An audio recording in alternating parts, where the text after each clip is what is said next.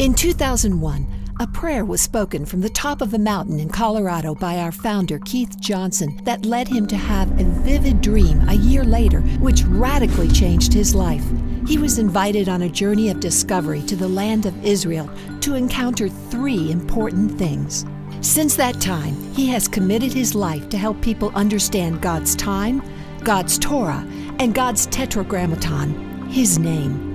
The vision for our ministry came about as the result of time he spent in the ancient tunnels under the old city of Jerusalem. Seeing the massive foundation stones that support the Western Wall inspired the creation of Biblical Foundations Academy. There have been opportunities to provide information, inspiration, and revelation to people around the world through television, radio, books, internet, DVDs, and live presentations. Since that time, Keith has been privileged to interact with many different groups around the globe.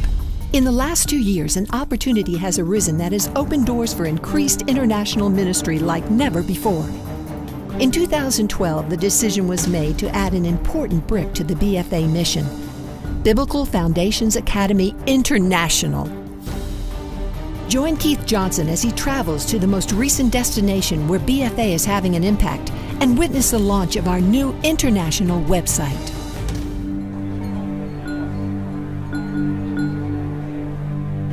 Okay, the goal is to go to the top, make a proclamation. Got something in here kind of special to do that, and launch BFAinternational.com. Let's see if we can do it. My friends are going to help me. Let's go.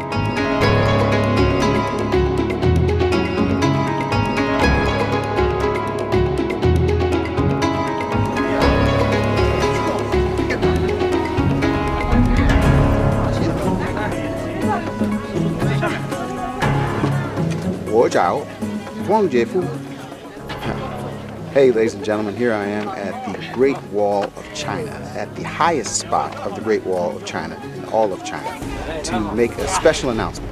We are today launching Biblical Foundations Academy International website. Why did I come here? Because we are committed to helping people around the world build a biblical foundation of their faith. And I wanted to come to a spot that kind of reminded me of when the vision of BFA actually started in Jerusalem.